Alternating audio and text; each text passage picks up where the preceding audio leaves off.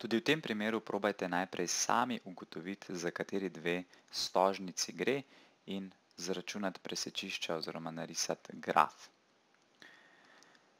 Tukaj lahko hitro prepoznamo, da gre za elipso.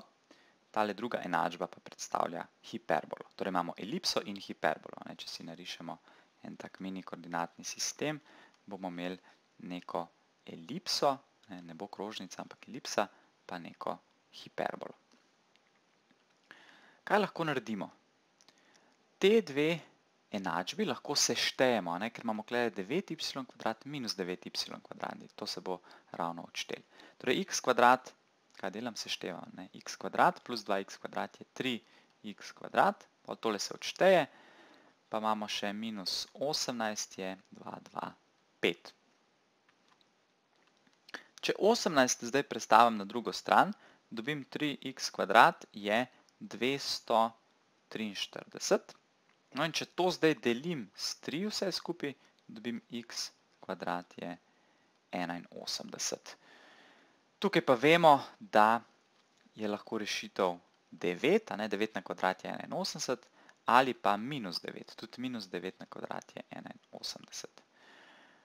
No in zdaj to devetko lahko ustavimo v en izmed teh dveh enačb. Jaz si bom zbral tole zgornjo, kjer imam um, uh, tale x kvadrat, se pravi, če je x kvadrat 81, lahko takoj zapišem takole, 2, 2, 5 minus 81, to pomeni, da je 9y kvadrat 144, seveda tole lahko tudi na kalkulator zračunate.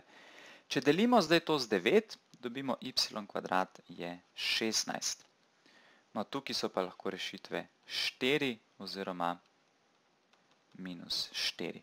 Spet smo dobili neke pare, poglejmo si, za kakšen graf gre, spet bomo imeli 4 točke, tako da probamo zdaj najprej točko 1, obe koordinati bosta pozitivni, 9, 4, potem točka 2 v drugem kvadrantu bo minus 9, 4, tale v tretjem kvadrantu bo imela obe negativni minus 9, minus 4, pa tale ima pa 9, minus 4.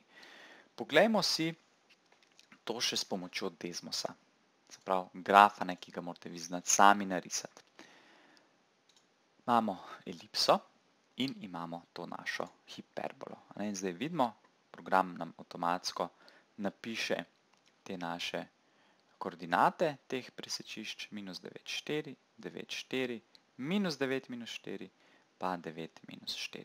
Torej naše rešitve so pravilne.